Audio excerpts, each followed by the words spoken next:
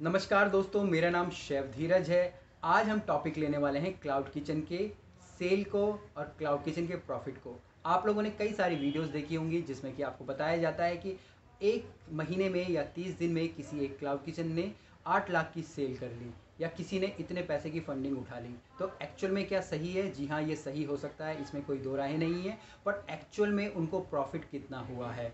मैं आपको एक स्क्रीनशॉट लगा दूँगा यहाँ पे जो कि सुबह मुझे एक मैसेज आया। ये लगभग जनवरी से क्लाउड किचन चला रहे हैं। इनकी मंथली सेल ढाई से तीन लाख रुपए है पर मंथ के एंड में जब इनको अपने वेंडर्स को पेमेंट करनी होती है, अपने सप्लायर्स को पैसा देना होता है, ये अपने अपने जो लेबरर हैं, अपने शेफ़ हैं कुक्स हैं, उन सबको पैसे देते हैं, अपना रेंट भरते हैं तो उनके उनके बाद इनके पास कुछ नहीं रहता जाता और इवन इनको अपनी जेब से ही बीस से तीस हज़ार रुपये एक्स्ट्रा खर्च करने पड़ते हैं, इनको कोई भी प्रॉफिट नहीं हो रहा है। पर अगर हम इसकी, इसमें सिर्फ़ यही देखेंगे कि भैया उसे पर महीने तीन लाख रुपये की सेल हो रही है तो बहुत बड़ा अमाउंट हो जाता है। अगर हम लोग बात करें पूरे साल की तो वो हमारा तीस, बत्तीस से चौंतीस, छत्तीस लाख करीब हमारा पर मंथ में हो जाता है, जो कि बहुत ही बड़ा अमाउंट हो जाता है एक साल में।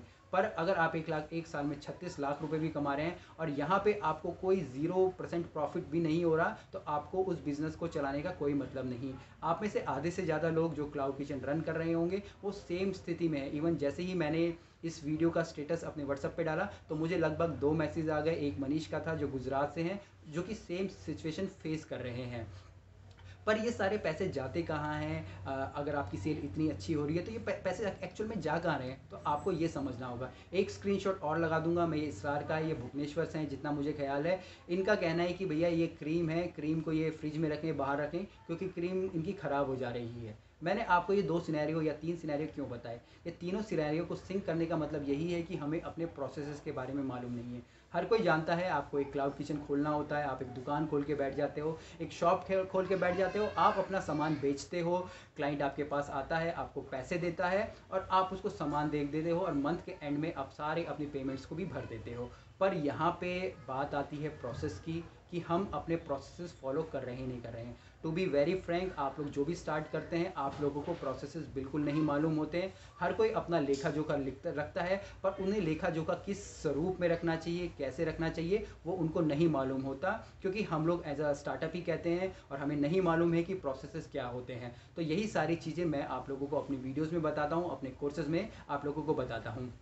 अब जब हम लोग प्रोसेस फॉलो करते हैं सबसे पहले जब हम लोग प्रोसेस फॉलो करते हैं तो हमें एक गाइडलाइन मिल जाती है खुद के काम करने के लिए जो हमारे यहाँ काम कर रहा है उसे काम करवाने के लिए और जो हमारा प्रोडक्ट है उसको किस तरीके से एक अच्छे ढंग से लोगों के सामने प्रेजेंट करें उसकी प्राइसिंग कितनी रखें उसकी पैकेजिंग कितनी रखें उसको कम से कम कैसे सस्ता कर सस्ता करके उसकी जो प्रोडक्शन कॉस्ट है उसकी कम करें और उसको अच्छे दामों पर बेचें। तो ये सारी चीज़ें हमारे प्रोसेस से होती है। उसके बाद अगर मैन पावर है मैन पावर को कैसे हम लोग प्रॉपर यूटिलाइज़ करें एक एम्प्लॉय हमारे लिए कैसे अच्छे से, से काम करेगा, हम ज़्यादा से ज़्यादा ऑर्डर कैसे ला सकते हैं? और जो ऑर्डर हमारे पास, जो जिसने भी क्लाइंट ने हमारे पास एक बार ऑर्डर कर दिया है तो दोबारा वो हमारे पास ऑर्डर क्यों करेगा? या फिर वो हमें डायरेक्ट ऑर्डर क्यों नहीं कर रहा है? वो स्विगी जोमेटो के पास पास बार बार क्यों जा रहा है? इसके अलावा हमारी इन्वेंट्रीज होती है, हमारे क्लीनिंग प्रोसेस होते हैं, हमारे ट्रांसपोर्ट के प्रोसेस होते हैं तो ये सारे प्रोसेस मैं अपनी वीडियोज़ में, अपने कोर्सेज में सिखाता हूँ। तो यही सारी चीज़ें होती हैं जो कि आपके जो प्रॉफिट मार्जिन को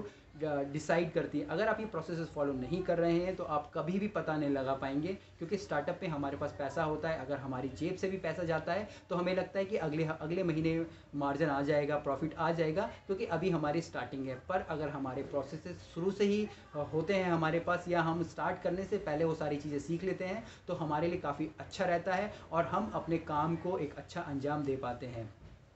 उम्मीद करता हूँ आपको ये चीज़ें समझ आई होगी और आप अपने प्रोसेस पे काम करेंगे। जनरल इन्फॉर्मेशन मार्केट में बहुत सारी है। कोई तीस दिन में आठ लाख रुपए कमा दे रहा है, कोई दो करोड़ के समोसे बेच देता है, कोई कुछ भी बेच देता है, पर आपको ये समझना है, मुझे सिर्फ़ एक लाख की मैं सेल कर लूँ और मुझे तीस हज़ार रुपये बच जाए।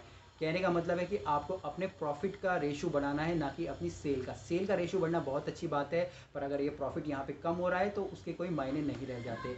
अगर आप चाहते हैं मेरे कोर्सेज वगैरह लेना, मुझसे बातें करना, या अगर आपके पास इसके अलावा कुछ भी ऐसे क्वेश्चंस हो जो आपको कहीं नहीं मिल रहे हो फ़ूड रिलेटेड बिज़नेस से तो मेरे प्लीज़ मेरे को व्हाट्सअप ज़रूर कीजिएगा, मैं उनके आंसर देने की ज़रूर कोशिश करूँगा। कुछ भी क्वेश्चन हो कमेंट्स हो, आप मुझे इनसे लिख सकते हैं या फिर मुझे व्हाट्सअप पर भी कॉन्टैक्ट कर सकते हैं। तो चलिए फिर मिलेंगे एक नए वीडियो में, तब तक के लिए जय हिंद।